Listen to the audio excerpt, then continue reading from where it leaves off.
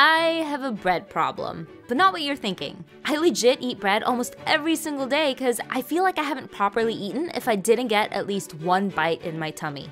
Anyway, did any of that sound familiar? Well, Lisa and I were talking about how much fun she had doing her 30 day ramen challenge, so I started thinking of something I could easily eat every single day for 30 days.